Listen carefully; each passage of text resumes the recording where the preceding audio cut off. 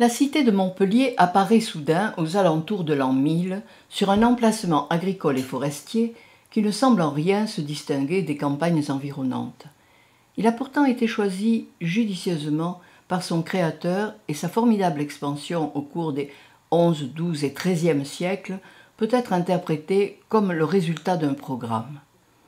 Nous savons maintenant que le chevalier Guy, cité en l'an 985 dans l'acte de donation et fondateur de la dynastie des Guillem de Montpellier, n'était pas un chevalier inconnu et opportuniste.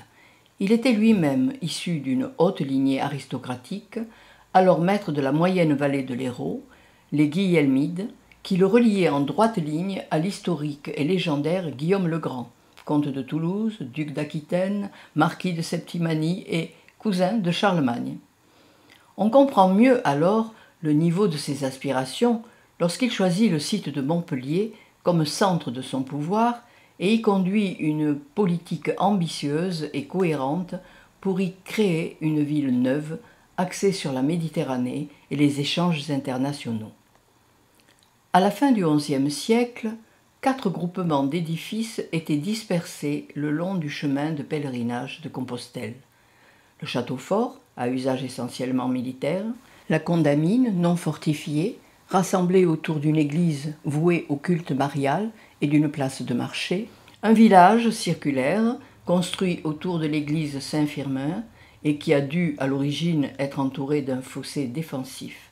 Enfin, de l'autre côté du chemin de pèlerinage, on passait sur les terres de l'évêque de Maguelone, où se trouvait le village de Montpellier, regroupé autour de l'église Saint-Denis. Quelques générations de Guillaume plus tard, une enceinte entoure le château, le quartier de Notre-Dame et le village circulaire de Saint-Firmin. Le bâti à l'intérieur de la ville s'est densifié, d'abord anarchiquement, de part et d'autre des sillons d'écoulement naturel de l'eau de pluie. Puis, après avoir rempli les interstices laissés libres par les lotissements originaux, les maisons se sont élevées en hauteur jusqu'à atteindre quatre étages, et des faubourgs industriels sont apparus extramuros. En 1141, Guillaume VI doit faire face à un conflit avec son viguier et certains de ses vassaux. Il ne peut récupérer sa ville qu'avec l'aide de ses alliés catalans et pisans à la suite d'une action militaire. Sa réaction immédiate fut de modifier la configuration stratégique de la ville. Il fait complètement araser le château à l'intérieur de l'enceinte et s'en construit un nouveau, véritable citadelle, à quelques centaines de mètres de la ville, symbole de son pouvoir retrouvé et de sa méfiance vis-à-vis de sa propre cité. Deux générations de Guillaume plus tard, en 1204, la seigneurie de Montpellier passe sous l'autorité du roi d'Aragon par les noces de Pierre II et de Marie de Montpellier. La cité est alors dotée d'un gouvernement consulaire qui obtient l'autorisation d'édifier sa propre enceinte défensive, c'est la commune clôture. En remontant le long du chemin de Compostelle, admirons la cité médiévale telle que la découvraient les pèlerins et les marchands du XIIIe siècle venus des quatre coins du monde connu. Les douze consuls siègent au centre de la ville, près du marché et de l'église Notre-Dame. Passons par la porte du Pilat Saint-Gély, aujourd'hui disparue, pour découvrir un peu partout dans la vieille ville les innombrables vestiges de ce royaume oublié.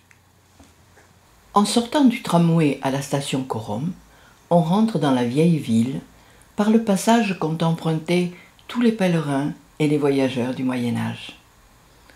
On devait alors passer un pont-levis, une chicane fortifiée, et franchir enfin la porte donnant accès à la cité, après avoir montré patte blanche à la milice de la commune clôture.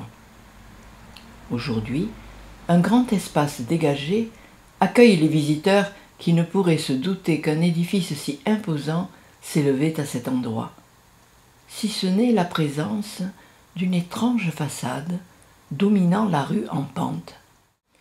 Nous avons pu, grâce aux quelques pierres de l'élévation qui n'ont pas bougé depuis sa construction, recréer l'apparence qu'elle devait avoir au temps de Jacques d'Aragon. Nous allons nous attacher dans un prochain film au déchiffrage de cette façade historique pour en faire une reconstitution la plus réaliste possible.